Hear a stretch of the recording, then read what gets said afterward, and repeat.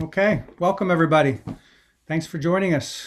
My name is Bernard Prusak, and I'm the director of the McGowan Center for Ethics and Social Responsibility at King's College. King's is a liberal arts college, relatively small, about 1,800 students in northeastern Pennsylvania, and we're sponsored by the Congregation of Holy Cross. This is our fifth Ethics Center event of the semester. And this is the second event in, in what I'm planning to be an annual post election day series, name uh, TBD. So if you have some ideas for names, please uh, send me an email. If you want to sponsor this series, send me an email about that too. I'd be all ears. Thanks for joining us. And thanks especially to our two uh, presenters who will be talking about a topic of crucial importance in U.S. politics today democracy amid digital disinformation.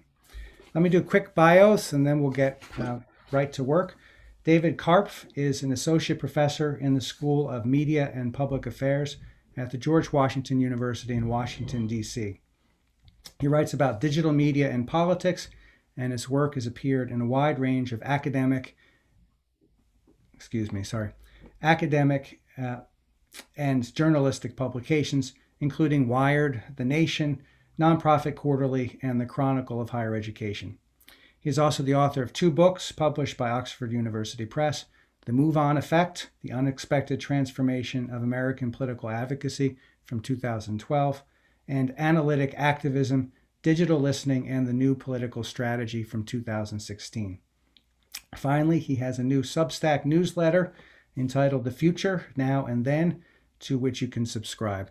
And I learned before we, we uh, got on camera about Dave's uh, Twitter fame, and I'm going to learn more about that uh, after this event. So maybe you too can, can Google Dave and Twitter and find out the scoop.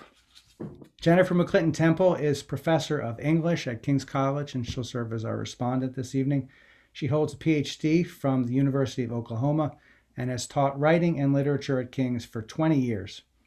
Her teaching and research interests include ethics in professional writing, teaching composition, and Irish, excuse me, uh, yeah, composition and Irish literature.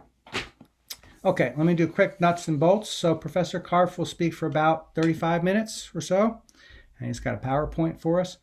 Professor McClinton Temple will give a five to seven minute response.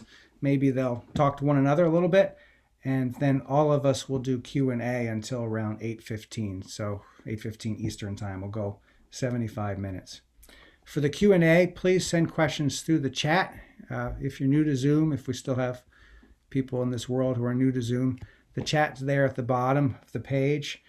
Uh, you're only able to chat with the hosts. Please send questions to me bernard prusak since jennifer and dave will be will be busy answering questions um, I'll do my best to introduce your questions into the mix. This event is being recorded, and the recording will be posted on both the McGowan Center's YouTube channel and Facebook page. And I'll also uh, send everybody who's registered a link tonight to the event. And I'll put it on Twitter too. Okay, thank you very much. Thanks, Dave. Thanks, Jennifer. Please take it away. Thank you. Um, let me just share my screen real quick.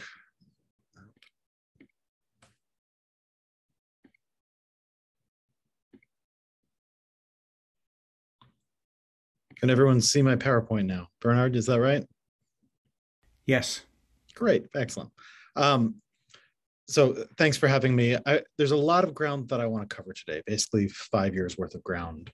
Um, but in discussing doing this event, which we uh, we're talking about doing before the Facebook papers or the Facebook files dropped, uh, before Facebook changed their name to Meta, uh, I have plenty of things that I can tell you all about that. I could spend 35 minutes just explaining to you all why Meta is a really dumb name. Um, but what I really want to focus on, what I think it's important for us to put our attention to, uh, is that it's just over a year since the election. And there's an extraordinary amount of the country that is not convinced of its outcome because that I think is now the central focus of us as we think about democracy amid digital disinformation. Um, and in, in, thinking about this talk, my thoughts actually went back to a talk that I gave in December of 2015. Uh, I attended a conference of political scientists who study elections. I was invited to give the keynote because I'm an internet guy and they wanted to some answers on whether we could blame the internet for this mess. Uh, now, again, this is December 2015. This is before any vote, primary votes have been cast, before the Iowa caucuses even. And so our conversation was really about just how weird the Republican primary was shaping up to be. Because at that time, it seemed to professional political scientists as though Donald Trump clearly wouldn't be winning the Republican primary, but that the primary up to that date was just behaving strangely, stranger than we had come to believe in the in the past. We didn't expect it to be going the way it had been going. And so I took some time to lay out some ideas about how digital mobilization and digital politics were changing the way people engage online. And I, I come back to that theme now because I, I live in Washington, D.C. I live just a, a few blocks actually from where the insurrection happened on January 6th. I had to keep my kids home from school that day, and they couldn't go to the playground because we weren't sure if the playground would be safe because there was an, an insurrection. And it's still galling, still surprising to say that out loud that there was an attack on this Capitol by the supporters of the outgoing regime. That's a thing that happens in countries, but not a thing that I had ever believed would happen in this country and it's the puzzle that I think we face now is how did January 6th happen? And the slice of it that I want to discuss with you here is to what extent can we blame the internet for this mess? And what I'm broadly going to suggest to you is that while digital disinformation is part of the problem, it is more a member of the ensemble cast than it is the central actor that led to January 6th and has led to what is now referred to as the big lie. This this belief that uh, the Democrats stole the election through uh, like secret files in the in the election machine machines. Um, that disinformation that's now been pulsating through the country for over a year, um, or just over a year. Um, that digital disinformation, while the internet is a necessary component of it, we wouldn't have it without digital media. I think if we want to understand why it's happening, we need to look in a different direction. So before I get to that, what I also want to discuss with you is some pieces that I wrote in the aftermath of the 2016 election with regard to a company called Cambridge Analytica. Um, this is one of the difficulties of giving a speech to Zoom is usually I would be scanning the audience to see how many of you have a deep recollection of the Cambridge Analytica story and how many of you have no memory of it? If I was giving this talk two or three years ago, I think all of you would know Cambridge Analytica. Today, I'm guessing it's 60 or 70%.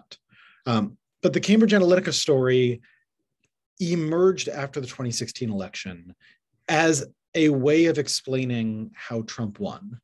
And in particular, as a, a, a, black hat story explaining that the reason why Trump won was because of this consultancy to Cambridge Analytica that was worked with his data team and they believed uh, had somehow hacked Americans' mind and convinced people to vote for a candidate who they wouldn't otherwise have voted for. Uh, the scandal deepened. It was a major scandal for Facebook because it became clear that Cambridge Analytica did, in fact, have uh, a huge pile of Facebook data, both on people who had once downloaded a Cambridge an, an app by a, a professor who was working with Cambridge Analytica, and by everyone who they were connected to and was connected to them. So they had a massive pile of data on most American voters.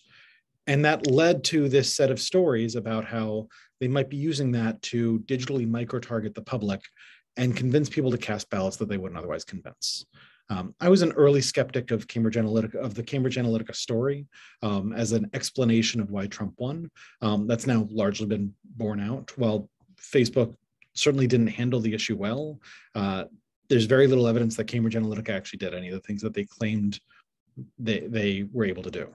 Um, and that led me to write a piece that was published in 2019 uh, titled on, on Digital Disinformation and Democratic Myths.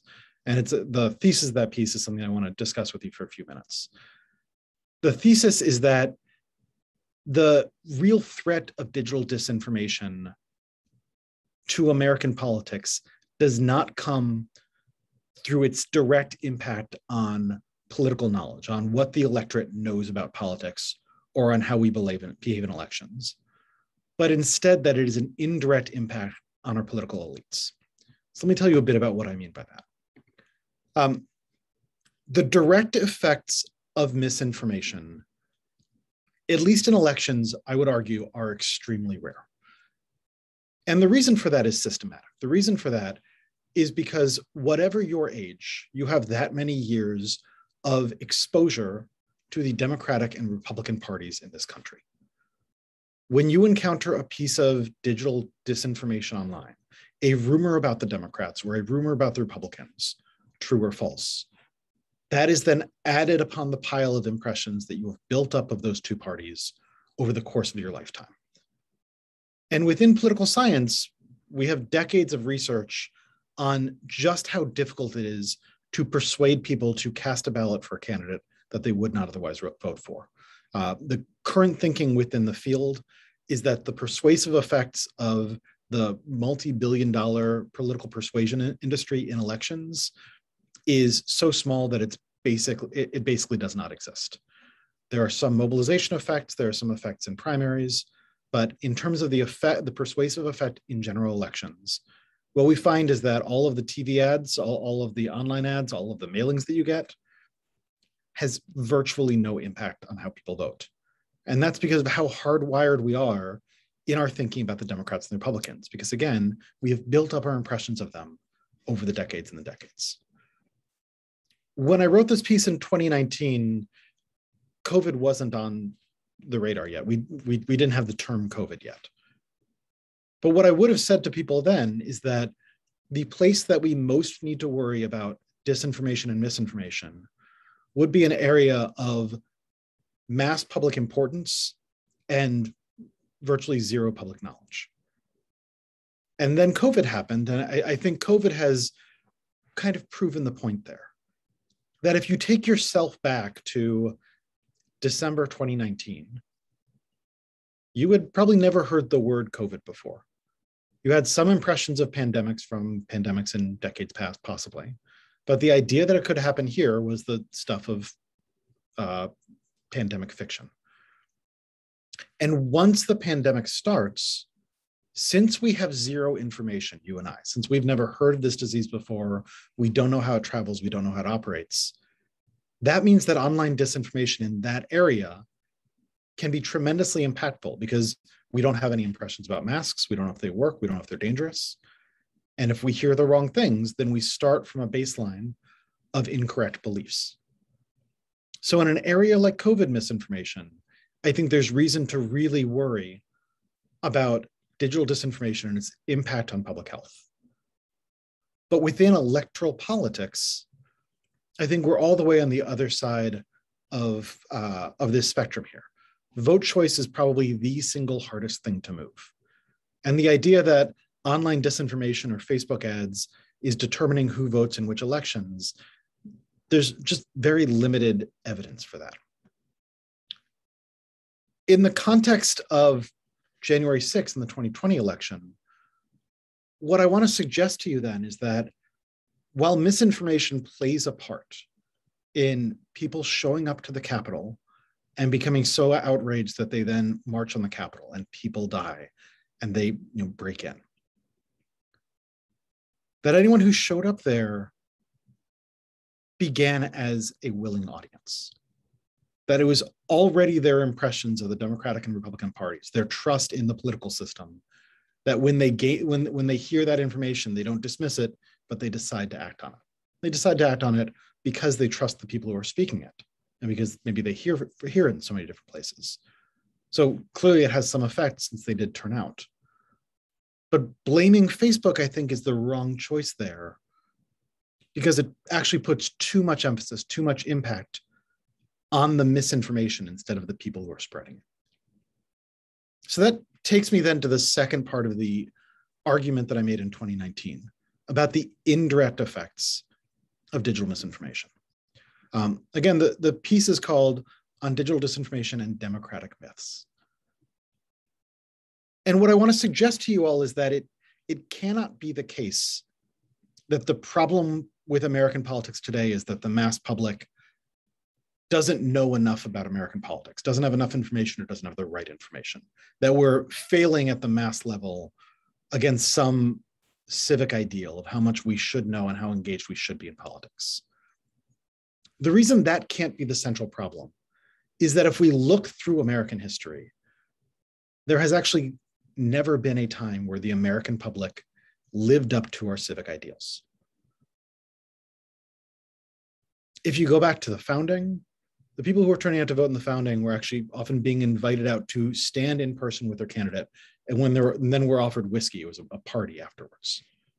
If you look at the Lincoln Douglas debates, which is a, celebrated moment of civic engagement, the audience of those debates were so large that when we recall the lack of electric amplification, we have to conclude that most of that audience could not hear the two candidates as they debated.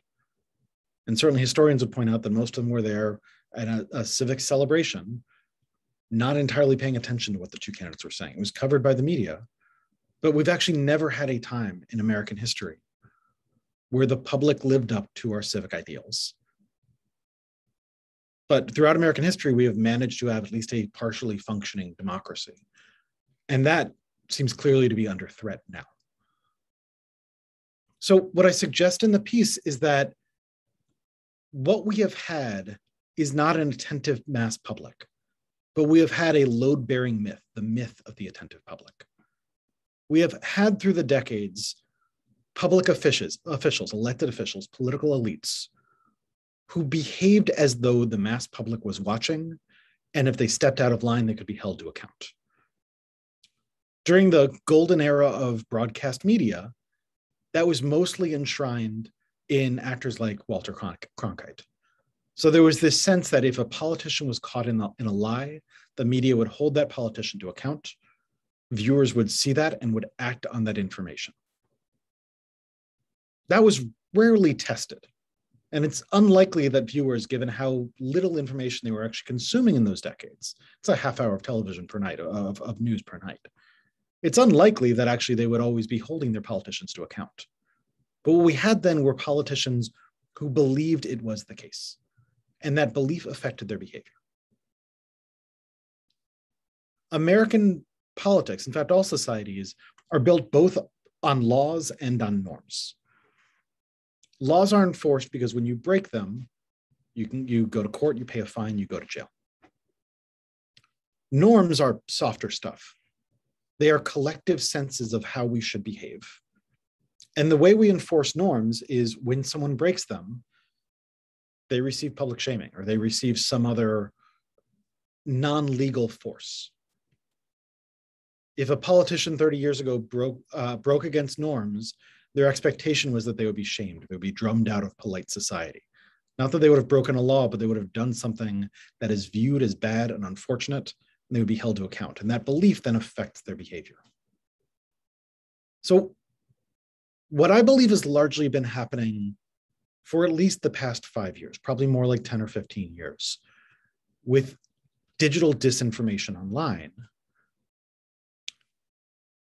is that elected officials, political elites, have been, been able to more and more effectively see that the myth of the attentive public is not true.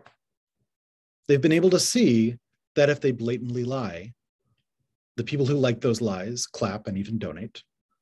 The people who dislike them might howl online, but most of them are not paying attention. And they can see that, they can measure that. And that affects and degrades the norms that hold up elite politics.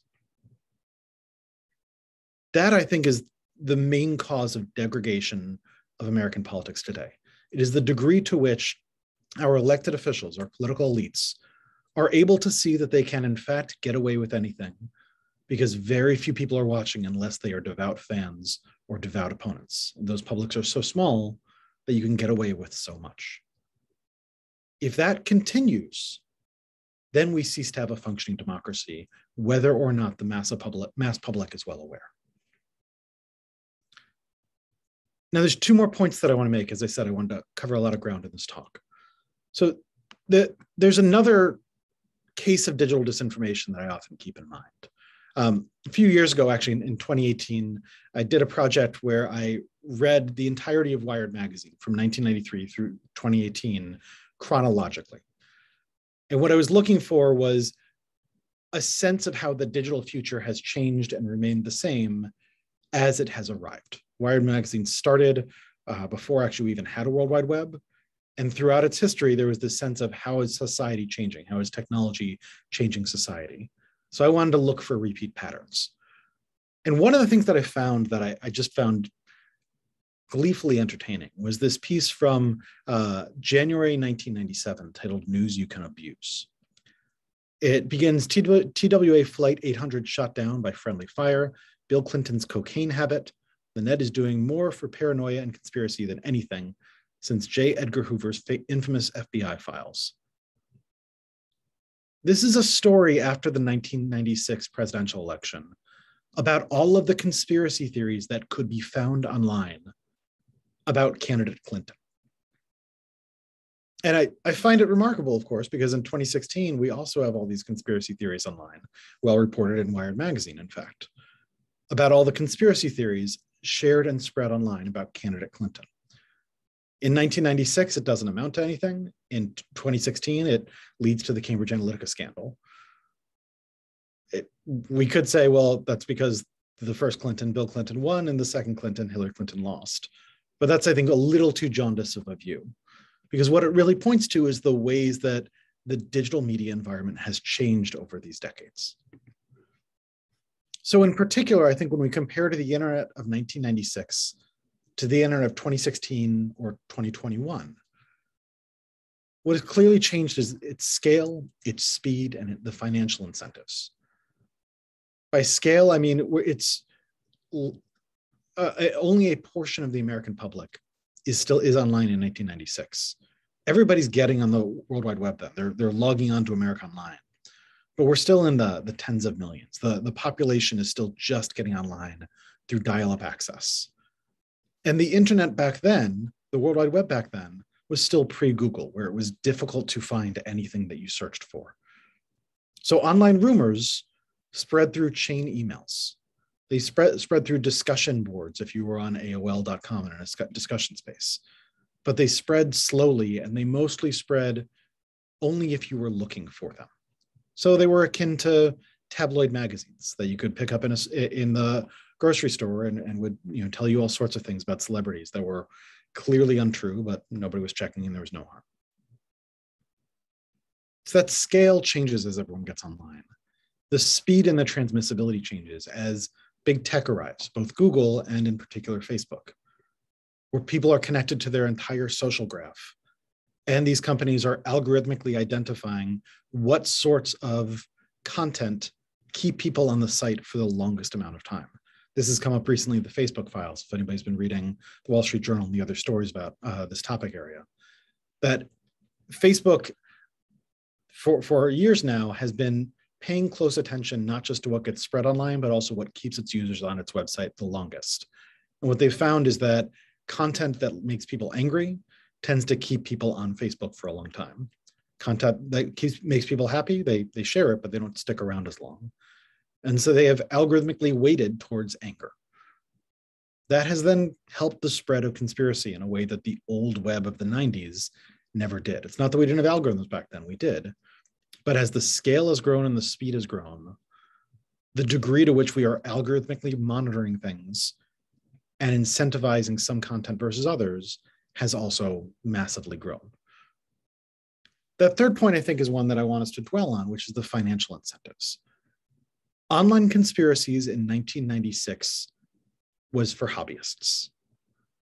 You did not get rich off of Bill Clinton conspiracies on the internet in 2016 you can.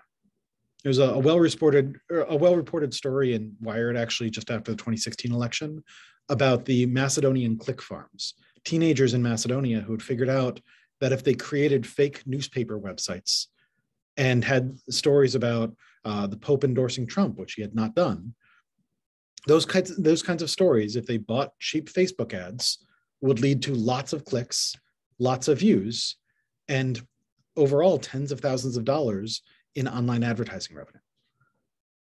Online conspiracy by 2016 had become a business. It continues to be a business today. I don't really want to talk a lot about the QAnon conspiracy theory today. It's not my primary area of expertise. But I think it's noteworthy that QAnon and that one of the people involved in it, the QAnon shaman, was one of the people who was arrested on January 6th. He was the guy with the horns at the Capitol. QAnon books have been some of the most the best-selling books on Amazon. The QAnon conspiracy theory has made people wealthy. That's different from a marketplace of speech in which we need to keep all speech free. It's a marketplace that is incentivizing lies and is creating a, a, game in which, in order to win, in order to get ahead, you have to recognize what the different big tech platforms are uh, algorithmically weighting for, and then find a way to feed those algorithms, find a way to give it to them. Part of what has made American democracy so dangerous today is that at the elite level, the level of media elites, what, what they have been learning is what algorithmically sells, and they're giving people more of what they demand. And then the big tech companies themselves are also supercharging that, they're turbocharging it. So that it's not just that everyone's able to speak online, but people are figuring out how to become rich through online uh, lies, online misinformation and disinformation. But I still want to come back to this point that I, I think blaming Mark Zuckerberg for January 6th and the big lie is too easy. This is something that I'm starting to see emerge just now with the publication of the Facebook papers. Because we now have stories from inside Facebook, from these documents inside Facebook, that Facebook engineers were watching the January, the big lie and watching Stop the Steal and January 6 building up on the site. And they themselves felt that they were, the site was not doing enough to stop it. Clearly, Facebook was used for some of the mobilization that led to the insurrection. So we can't let Facebook off the hook entirely. I don't want to suggest to you we should do that. But I worry a little that we are arriving at a consensus similar to the brief consensus around Cambridge Analytica, that we should just blame Facebook, blame big tech for all of our troubles. And while I think we should direct some of the blame to them, because they did far too little to algorithmically quash the big lie, Mark Zuckerberg wasn't the person who was promoting. And this brings me back to the role of political elites. So this is a, a picture of uh, Professor, uh, law professor John Eastman and Rudy Giuliani at the January 6th rally. This is John Eastman giving his speech just after Giuliani had riled up the crowd, telling them that we should have trial by combat in his argument for why they needed to stop the certification of the electoral count. John Eastman then stood up in front of the crowd, crowd and told them that, they, that he had proof, that they had proof, that the voting machines had secret files that were awarding uh, states like Georgia to the Democrats, to, to Biden. And that the only reason Biden had won is because the entire thing had been stolen. And he insisted that uh, Mike Pence could stop the stop like stop the certification of the election, and that states could then sort it out and award the election to Donald Trump. And he told that crowd that it was bigger than Trump because if they didn't stop this certification, then we wouldn't have an American democracy anymore. Eastman, not long after this, was uh, forced to retire by his university, Chapman University. Um, but he's been in the news quite a bit recently. In fact, I, I, believe just today it was announced that he's been subpoenaed to talk to the January 6th uh, um, uh, investigation in Congress. But he's recently been in the news uh, because you, you, may have heard that he's the person who wrote a memo for Donald Trump to uh, Vice President Mike Pence, articulating and, what he called wargaming a set of options for how they could stop the electoral count subvert it and award it to Donald Trump.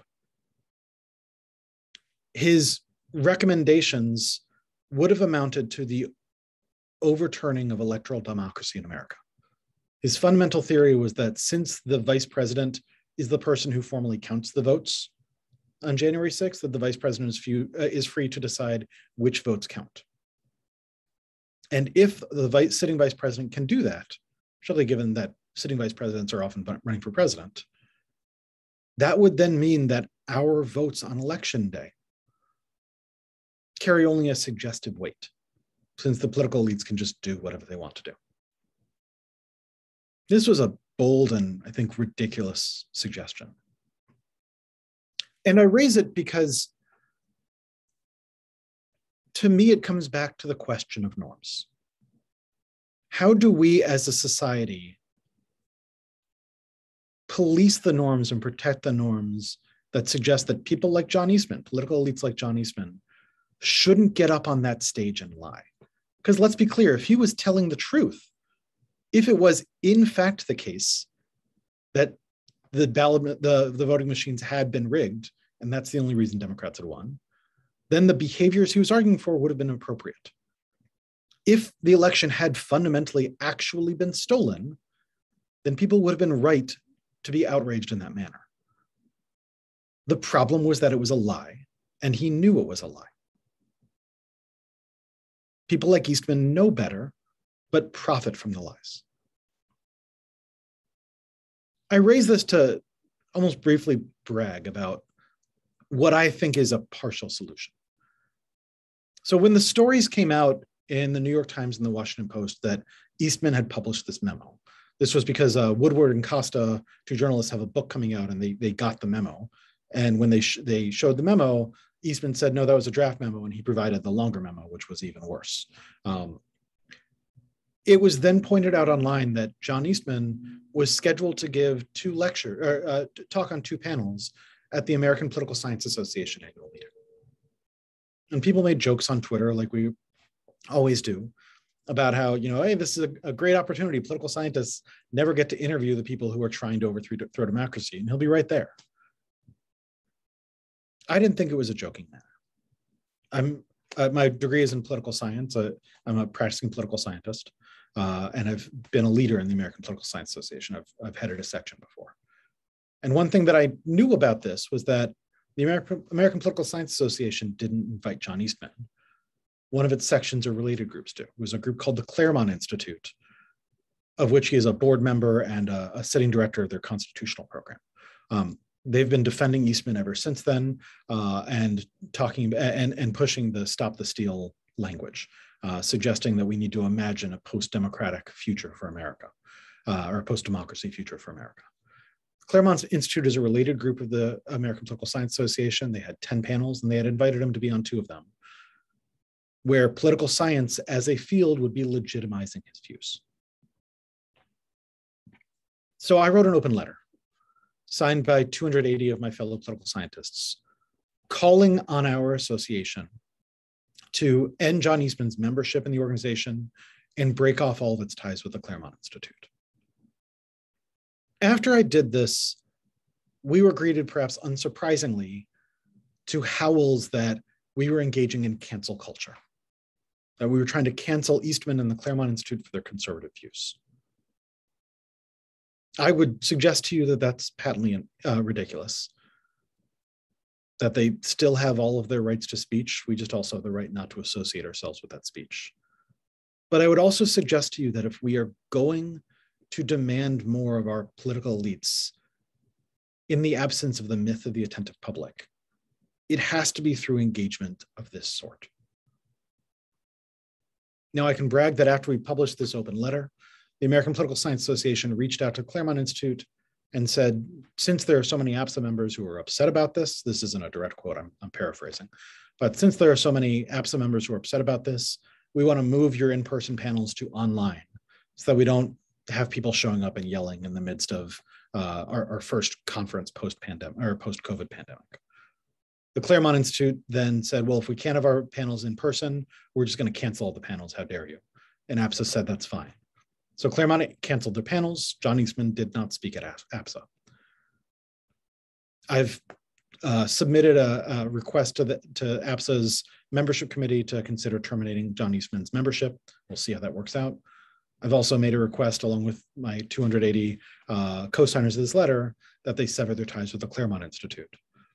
Because while they used to be a, a, a organization that primarily engaged in conservative political philosophy, they now are mostly engaging in political mobilization that is trying to hasten the, decline of American electoral democracy. And I think APSA should stand for American electoral democracy. But the reason I raise this is it points for me to a better way out than just calling for better public knowledge about how the internet works or calling to hold big tech accountable though again we should do that too. I think if we american democracy is going to recover from this fragile moment that it is in it is going to be going to be because we demand more of our political elites and our media elites that we hold them to the norms that they used to hold themselves to and that we create a cost for the violation of those norms I don't think that John Eastman should be kicked out of the American Political Science Association because he's a conservative. I think he should be kicked out of the American Political Science Association because he stood up at a political rally and lied to people. And those lies were dangerous enough that they then sacked the Capitol. I think he should be kicked out of the American Political Science Association because he authored a memo as part of Donald Trump's team that, if they had taken its recommendations seriously, would have effectively ended American electoral democracy. And I think all of us who care enough about these topics to show up to a webinar on the topic on a Monday night probably agree that American electoral democracy is a good thing worthy of defense. If we are going to defend it, then we have to make these sorts of demands. And calling it cancel culture is too easy of a way out. So to summarize, because again, I'm trying to draw together a number of disparate threads, sort of what I've been up to in this field for the past five years. I think it is easy to over to, to overclaim the persuasive impacts of digital misinformation. It is context dependent, it is frequently overstated. It can be used as a mobilization tool. Clearly, digital misinformation about the, uh, about the so-called stolen election leads to people's anger as they turn out on January 6th. And the people who pushed that misinformation should be held to account. But it's it's too easy to say, oh well, people don't know what they're reading online, and that means that they're misinformed, and we can't have a democracy unless people are well informed. Because we've never had a well-informed public, and we've never really had pro- the problems that we're having right now. Misinformation is most effective in the areas where the audience has scant existing knowledge. That's places like public health and COVID. It's not places like who votes or how does voting work. And I think the solutions to this need to be focused on elites. We need to treat misinformation not as a mass problem, but as an elite problem. I often hear calls for media literacy or digital media literacy as a solution to our misinformation woes.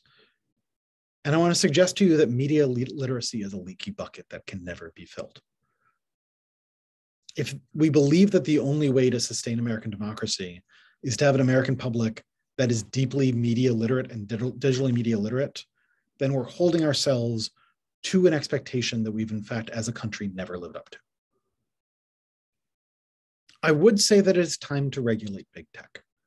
That one of the things that we've learned through the Facebook files and through the past five years is that companies like Facebook are simply too big. They are granted too much responsibility or too much power to handle responsibly. Congress is looking at those regulations. I fully support it.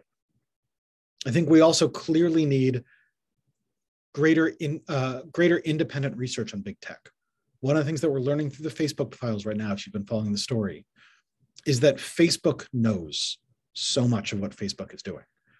And the only researchers who have access to that data are researchers working with or for Facebook, held under non disclosure agreements, unable to share what they're learning unless there's a major leak like we're seeing now.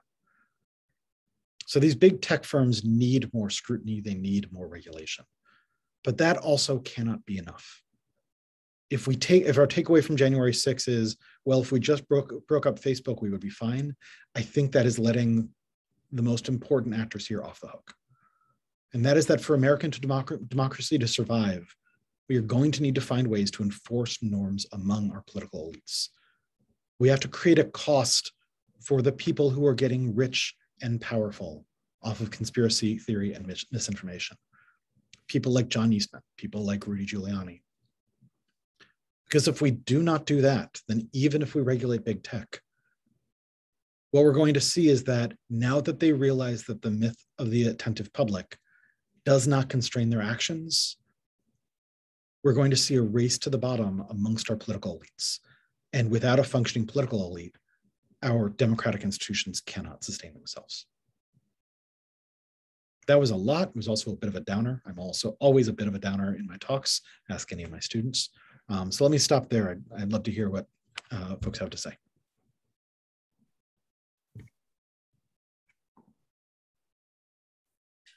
Hi.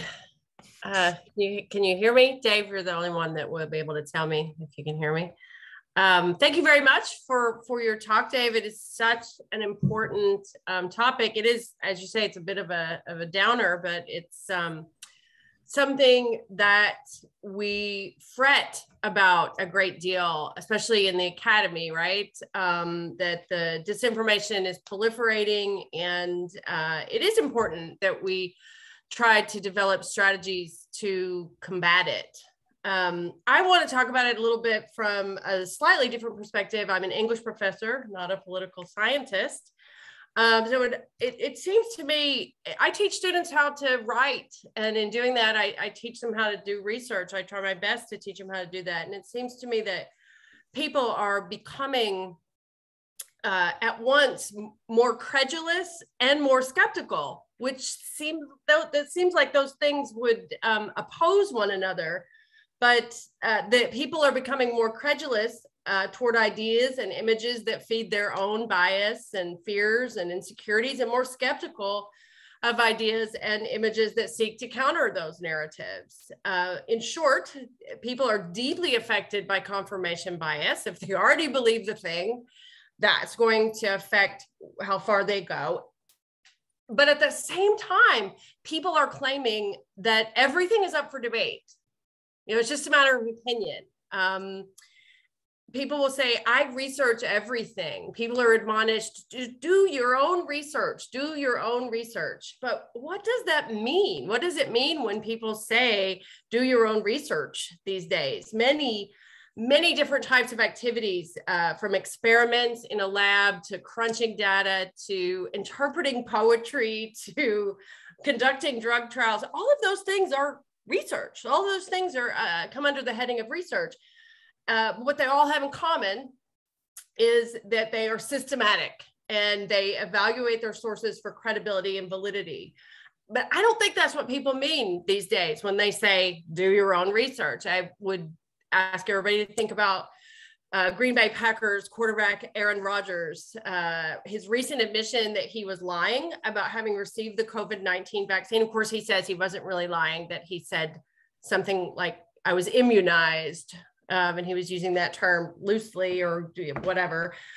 But his subsequent argument is that he has given the NFL 500 pages of research uh, on vaccines and mask wearing. Research that he says calls both of these practices into question.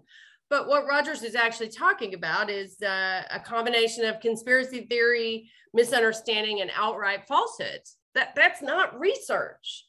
Uh, I would also ask people to remember the, the great time this summer when actor Woody Harrelson posted a report touting the conspiracy theory linking 5G networks uh, with coronavirus and other health uh, problems. Woody Harrelson has 2 million followers on Instagram. When he posted that, he said he had not fully vetted the article, but he found it interesting. Well, one wonders what Harrelson meant by not fully vetting a theory for which there is no evidence whatsoever. Did, did he partially vet it. Uh, like research for Rodgers, I think vetting for Harrelson might be a synonym for, for reading. Uh, many today seem to think that simply running across or uh, at best reading a theory or story qualifies as research. Uh, and as you say, one of the things that's changed on the internet is the scale, the amount of information that is available. Informa- both good and bad. Um, but when I think about how I had to do research when I was in college, which was 30 years ago, um, it was much more difficult for me to put my hands on things that weren't true because they had to go through such a, difficult and careful editing process to become books, to become articles. It's so easy to put things online. And so that, that the scale is just much greater. Um, but the problem is not Aaron Rodgers and Woody Harrelson. The problem is the platforms that uh, promote them. Instagram, in the case of Woody Harrelson, which is owned by Facebook, um, and in the case of Aaron Rodgers, appearing on Joe Rogan's podcast, which is hosted by YouTube, which is owned by Google. Um, so you start to see how um, these media conglomerates are huge and affect our the dissemination of our inform- of information to us in ways that are um, increasingly scary. Um, but as you say, we've never been that great at research, right? We've never been that uh, that well informed um, a public. I would also argue, though, that we yeah we may have always been inattentive. Um, but the internet and social media make all of these things easier to do to deceive to confuse to distract um, think about how much harder and more deliberate one had to be to fool a would-be benefactor into thinking you were someone you were not back in the days before the internet. I, am old enough to have received an email trying to get me to transfer money to someone in Nigeria, claiming that the funds were already owed to them and I would be helping them out of a jam. This scam is not new. The, the scam that it's a cousin of, the Spanish prisoner, that goes back to the 18th century. But what is new is how easy it is to construct these false narratives and to disseminate them to huge groups of people relatively easy, easily. Um, think also about how social media and readily available, available tools therein make it possible for regular people, not celebrities, not politicians, not elites, to curate their own existence, to make themselves look different than they really look, and to, to make their lives look different than they really are. It's it's easy for people to do now, and I think it's all part of the same um, big ball of wax. I, just want to end uh, my response uh, to underscore Dave's point that the crisis that we face is not an entirely new one.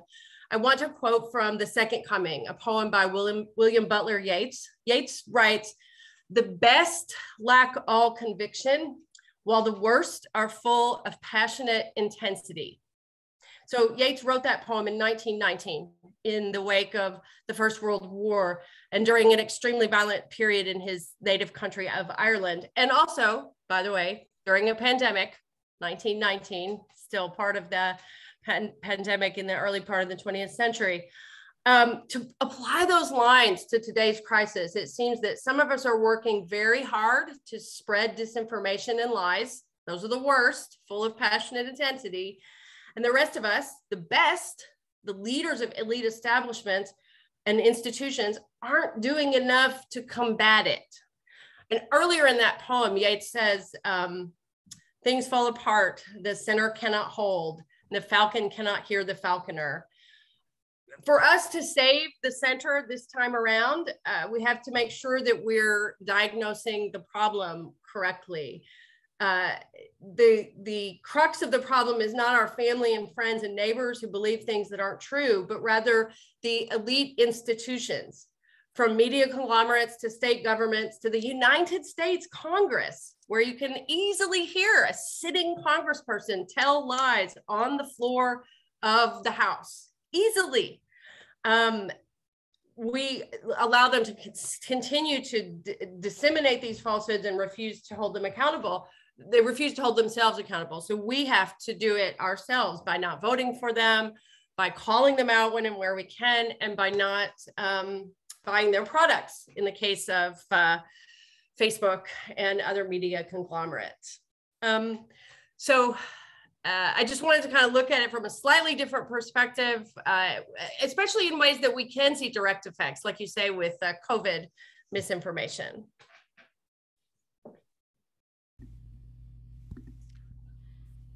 Thanks. Dave, did you want to say yeah, a little the, bit? We have a so this is largely a, a yes and that I think with the Aaron Rodgers case, what stands out to me is there's both pressure that canon should be applied to Facebook. I think they've done they, they could have done a better job on COVID, but actually in many ways, I think they've done a, a decent job at least. But what stands out to me is that if you want to solve a problem like Aaron Rodgers and uh, COVID disinformation, probably the best way I think to approach it is by focusing on the elites who are getting rich off of those lies.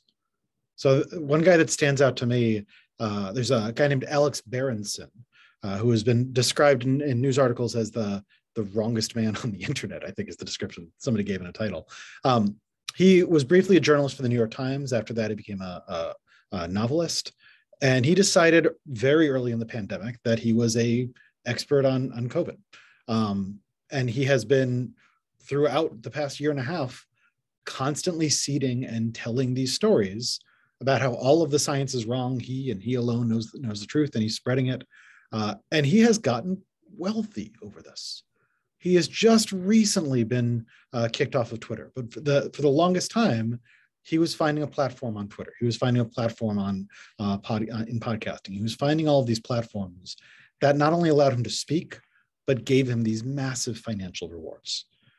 And when other people look at, at Alex Berenson and notice, wow, this is the way to get rich right now. That you know, this is the new scam. That then amplifies the problem. If you disempower the Alex Berensons of the world early, if you take away the financial incentives, then you start to solve the problem. I mean, I, I mentioned the uh, Macedonian teens in 2016 the way that got cleaned up, I mean, that really got cleaned up, is they were producing these uh, fake newspapers. And Google just before the election and Facebook just after the election demonetized fake newspapers. They, they set a new rule saying if you are producing a website that looks like a newspaper and is not a newspaper, you can't collect ad revenues. And once they set that rule, once the platform set that rule, that problem gets solved. It doesn't solve all of misinformation, but we can handle this on the supply side. And when we do, that's often when, again, people talk about cancel culture or free speech. And I'm a big proponent of free speech, but I also think that we need to enforce our norms and recognize when it's not free speech, it's paid speech. Thanks to you both. Uh, we have a, a, number of questions since uh, for all our listeners. You'll hear some of your questions and others will be mashed together. Um, a lot of the questions, Dave, have to do with um, what you've just been talking about. They're more or less under the the category "What is to be done." Um, so I'll, I'll, you know, try to pose the questions in some uh, logical order. Uh, so here's one. Once this uh, myth of the attentive public, the load bearing myth of the attentive public, has been punctured can it be restored? Um, do we need new myths? Are myths what we need? If so, you know, what myths would they be? So again, there are other questions about what can be done, but this is a question that has to do with with myths in particular, whether that that myth can be restored once it's punctured, whether we need new myths, so on and so forth. So the honest answer is that I don't know. Um, I think it has to be restored for American democracy to function. Um, I think there was a time in which I haven't I haven't complained a lot about Congress today. I taught class this morning. I complained about Congress in my class. Um, kidding, mostly. Um, there was a time in which Congress abused the filibuster less than it did right now, out of a sense that if they are constantly filibustering everything, that the public would hold them to account. And they've learned over the past decade or so that actually the, the public won't. And now we have the filibuster abused for everything. Now, one solution is to get rid of it. That is, I think, probably where we're trending. I think sometime in the next 10 years, some congressional majority will probably just get rid of it. But that, that to me stands as evidence that we need political elites that behave as though there is an attentive public, whether there is or not.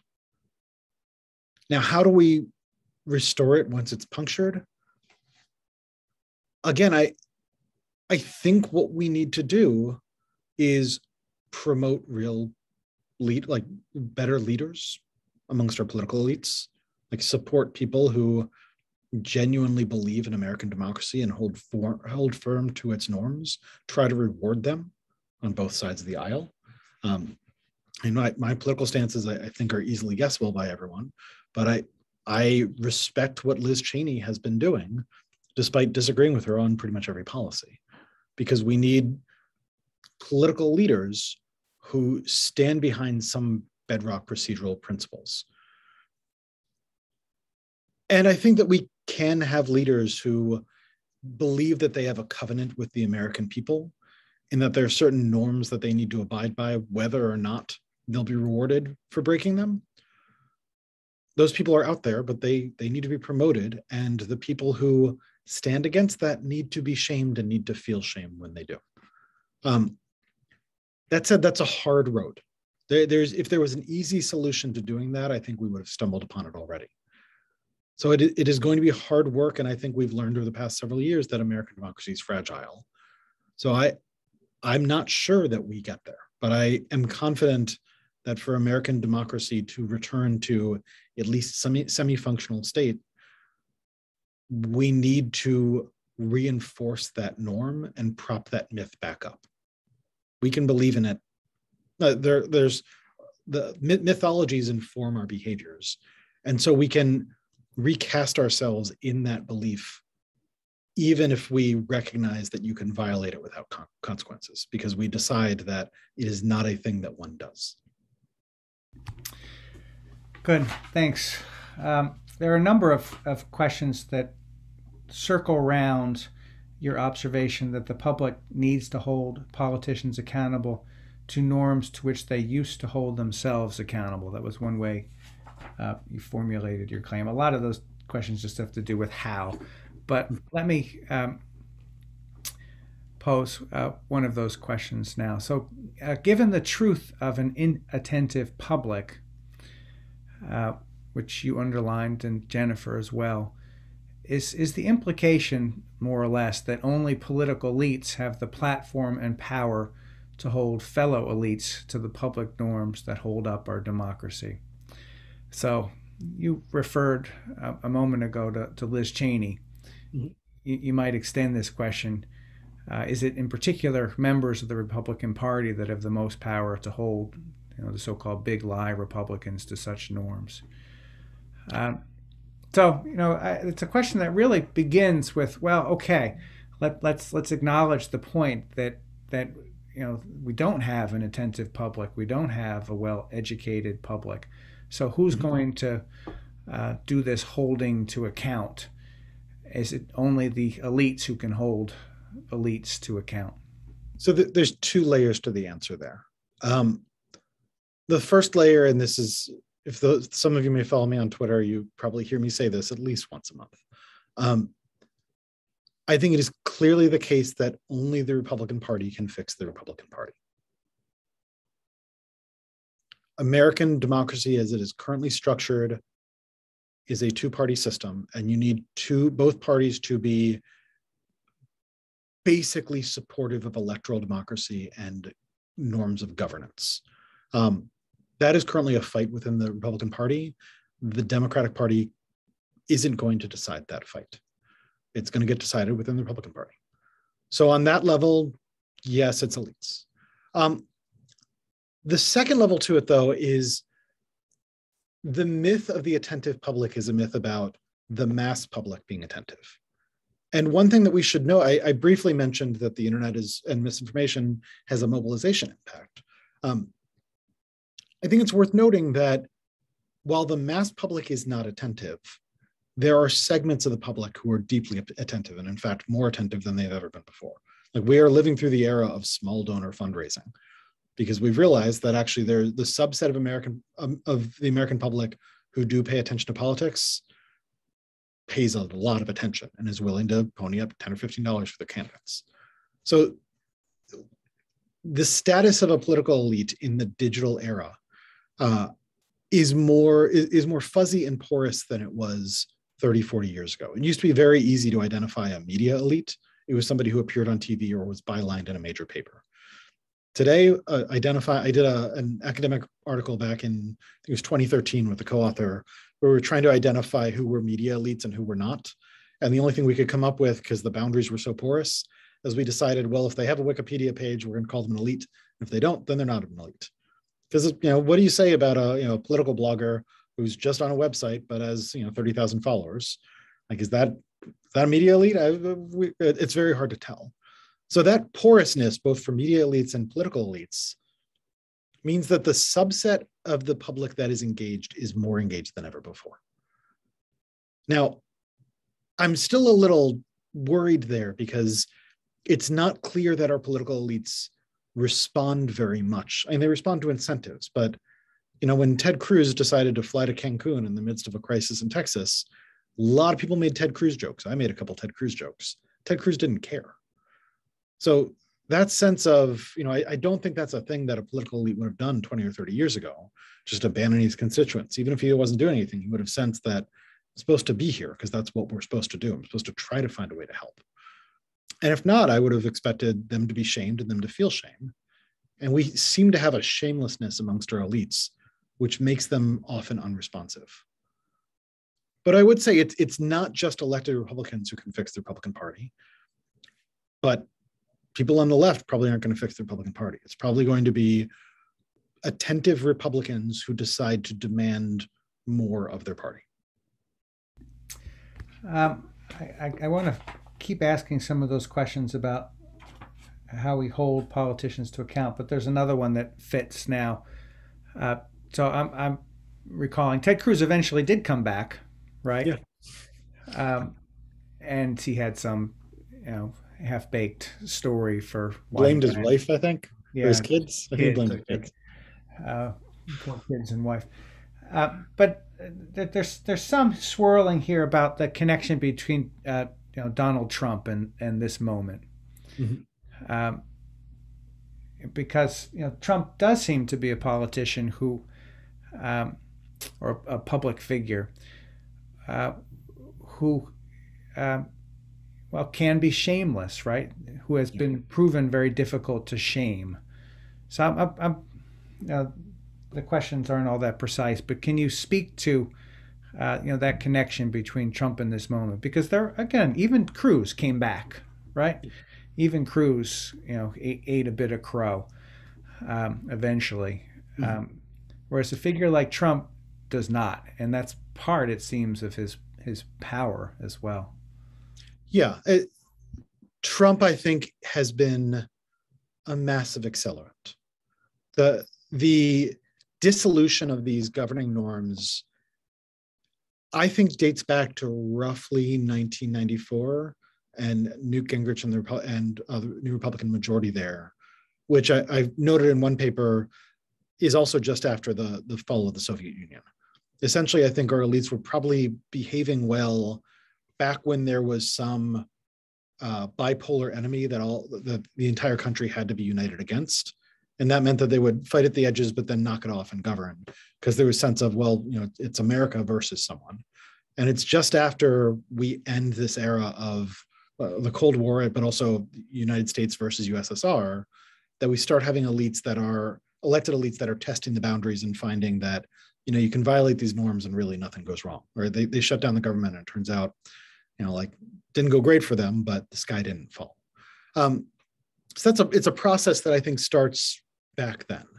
Um, and Trump's role in it is again, if I'm right that norms only function until they're violated and nothing bad happens.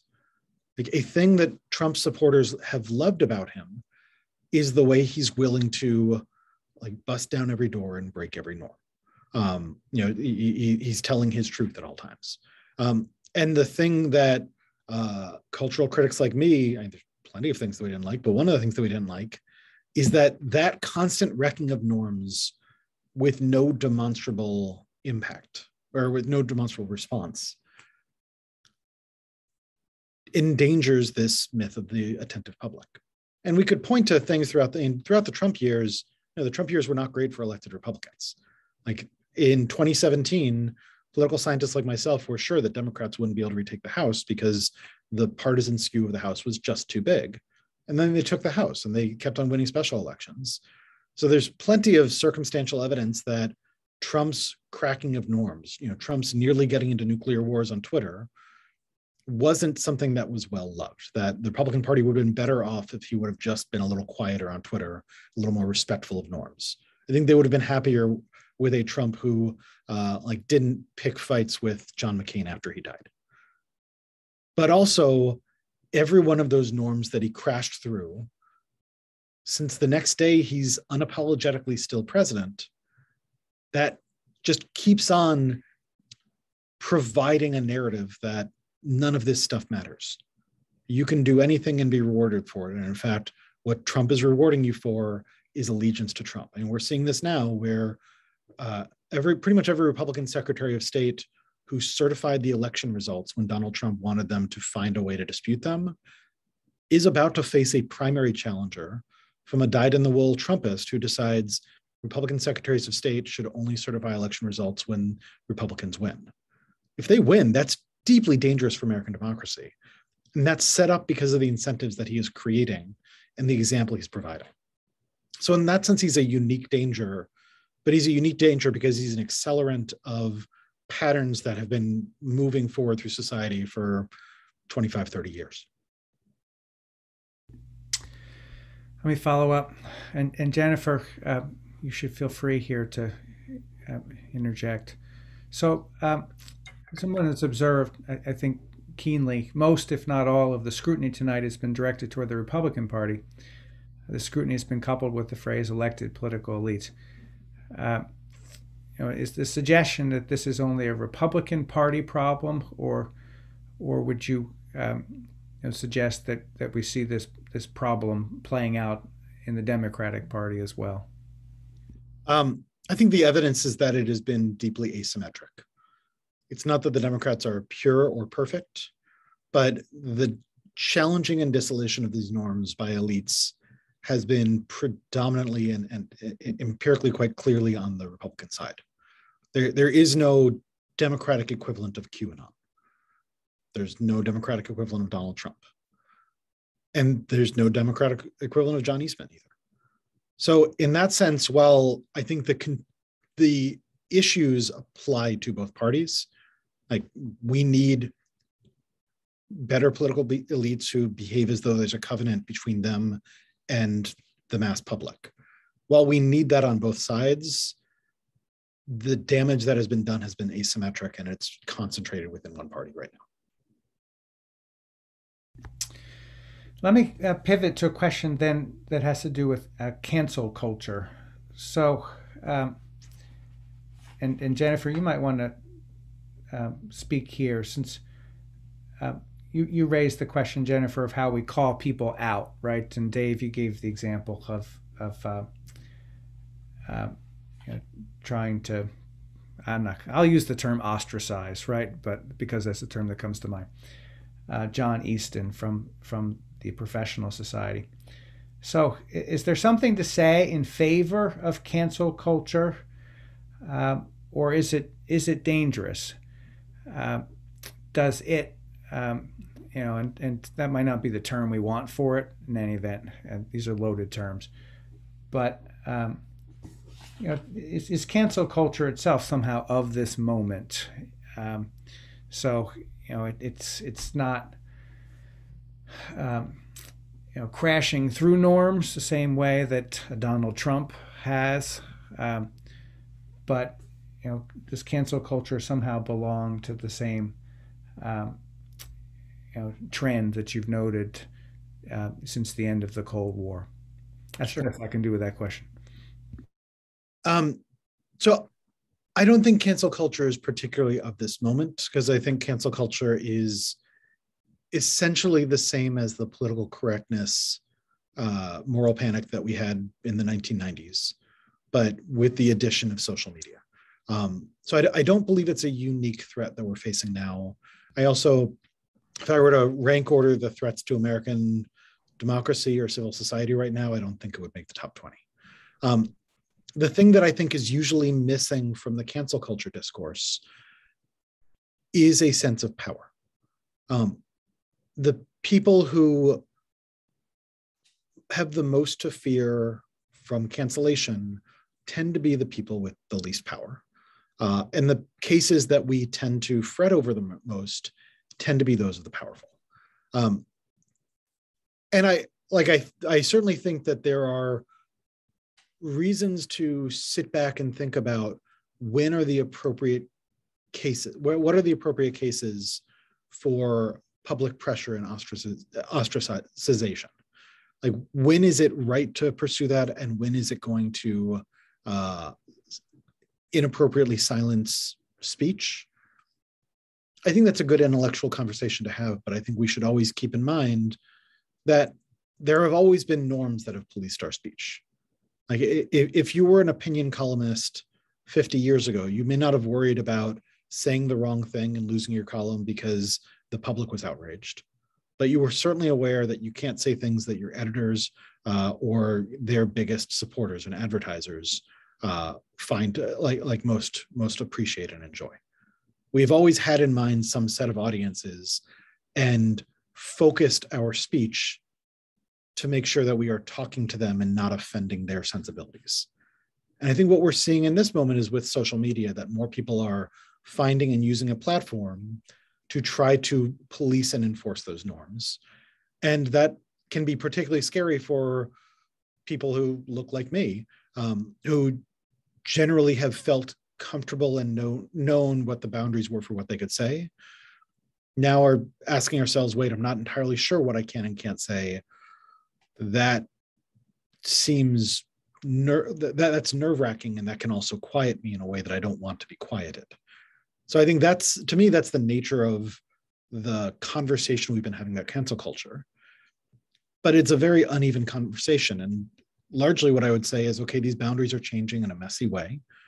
For those who have power, with great power comes great responsibility. I'm a Spider-Man fan, I got to say.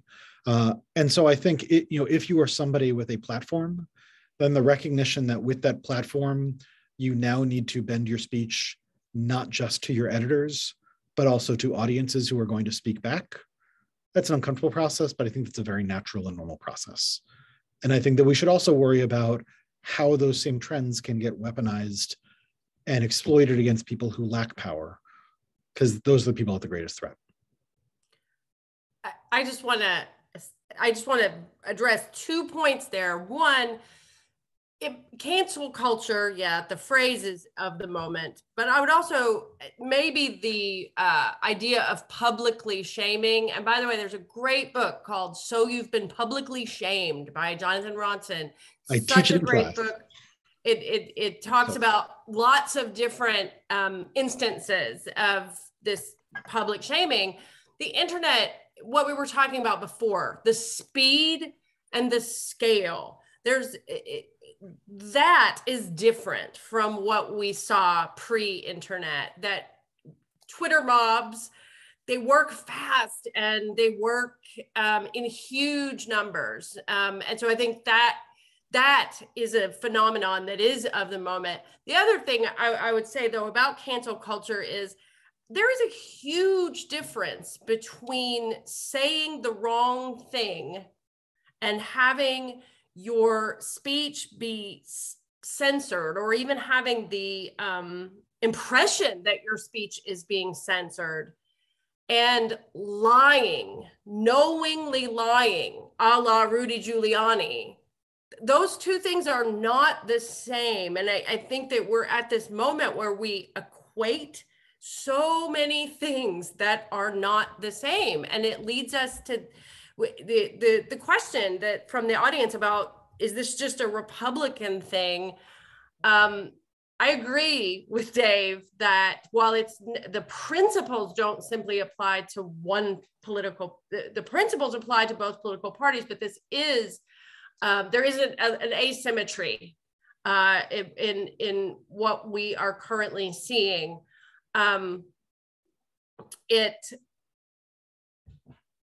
we see a lot of people trying to equate things that have no business being equated. Like I, I, think of Donald Trump saying there are good people on both sides in Charlottesville. I think of that public school official in Texas saying if you have one book about the Holocaust, you need to have an opposing. What is an opposing view of the Holocaust? That doesn't even make sense. Um, and and we're in this place where we're always trying to equate things and say, oh, it's on both sides. It's happening on both sides, and um, these things don't have to be like the other. So I'm not sure cancel culture is the same. I'm not sure that's what Dave's talking about. No, and, and I, I, didn't mean to suggest through the question that it was. Um, I, I, think, though, you can see at, at, least one point of connection. I mean, again, it has to do with norms on both sides. So, on the one hand, Dave, you're talking about the crashing through of norms, the dissolution of norms. Uh, on the other hand, we're talking about changing norms, and as you put it, you don't, you're not sure always where the boundaries are, right? And so the, the two phenomena do seem to be connected. They're not the same, obviously but there does seem to be some some underlying connection to the two, um, and that's you know, potentially interesting. Now we've got like 37 more questions. One person really wanted to hear what you had to say about Meta and why it's a stupid idea. It's 817. He asked for the three minute version. I don't think he. I know the person who asked that question, so you, I'll, I'll connect him too, and you can you can tell him. Uh, let me just tell people I have a piece in the latest Wired magazine uh, about why VR is the, I think I called it um, the rich white kid of the tech industry uh, ecosystem. It just keeps on being rewarded more chances based on its potential, despite constantly failing upward. Um, I wrote that before they said that they were going to call themselves Meta and be a metaverse company, but um, I have some good snarky responses in that. Just read that piece. I'm very proud of it. There's your answer. All right. One last question, even though there again there are a number of really good ones, and we're already a touch over time. But um, uh, one one of our listeners observes that the cigarette industry was finally held to account for targeting audiences with misinformation.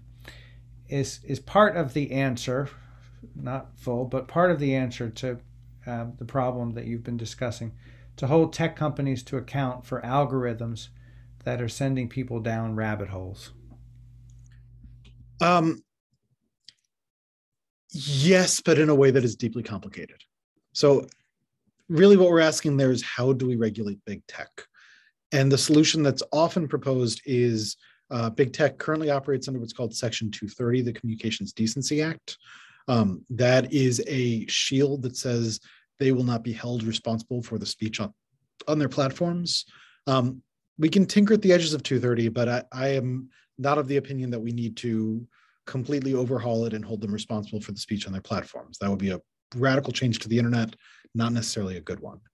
But there are a lot of other, I'd say, regulatory attack surfaces for how we deal with big tech, um, including limiting their ability to gather data.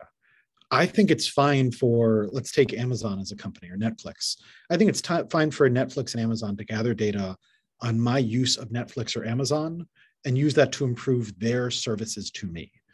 But they should not be allowed to turn that into a data profile of me that they then sell uh, to third party vendors that go to fourth and fifth and sixth parties. We have a completely unregulated data industry. If we were to shut that down to say that your data profiles cannot be recombined and sold like that, it would radically change the finances of the internet. And I think largely for the better. So that wouldn't be penalizing, directly penalizing companies like Facebook for sending us down rabbit holes, but it would be changing the incentive structures that lead them to try to have their algorithms be immune from public scrutiny and keeping us on there at all time because the more time we spend there, the larger their data profiles and the more they can sell them. If we limited their ability to do that, I think that would be a big first step towards limiting harms.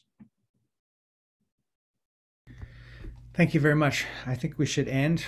Thanks to you both. That was really interesting. Uh, a lot more to think about. I've scribbled a lot of notes.